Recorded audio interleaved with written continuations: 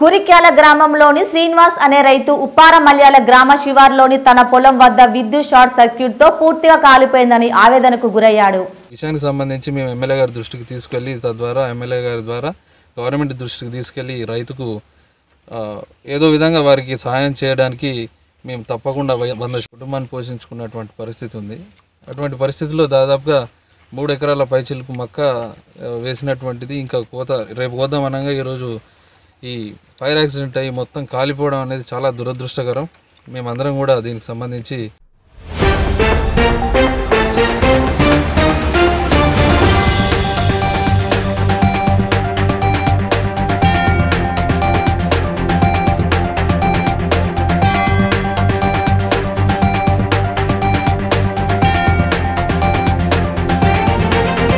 నా పేరు మూల శ్రీనివాసరెడ్డి.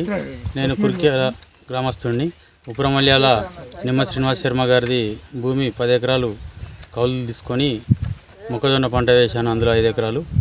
ట్రాన్స్ఫార్మర్ కారణంగా మంటలు లేచి మూడు ఎకరాల మొక్కజొన్న చేను మొత్తం కాలిపోయింది. దీనికి నేను ఎకరానికి ఇరవై వేల చొప్పున పెట్టుబడి పెట్టాను. నాకు ప్రభుత్వం తరపున నష్టపరిహారం చెల్లించాలని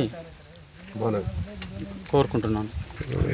ఎంపీపీ గారు మరియు ఎంఆర్ఓ గారు అధికారులు వచ్చారు చూశారు. ఎమ్మెల్యే గారికి వినవించుకొని మీకు తగిన నష్టపరిహారం అందిస్తామని చెప్పి ప్రభుత్వంతో ఎంపీపీ గారు మాకు హామీ ఇచ్చారు.